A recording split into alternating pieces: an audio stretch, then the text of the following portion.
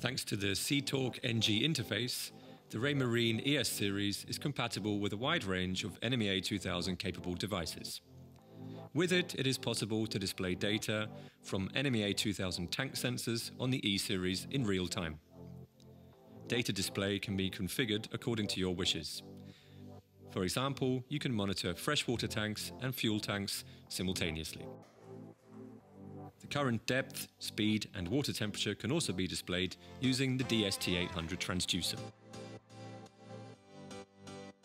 Data such as wind direction and wind speed can also be transmitted via the NMEA 2000 network.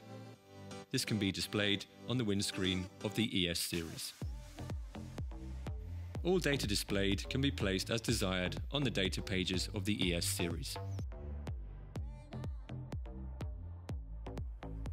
By using an adapter cable and a SeaTalk 1 to SeaTalk NG converter, you can transfer data from your existing ST40 or ST60 series to the SeaTalk NG network.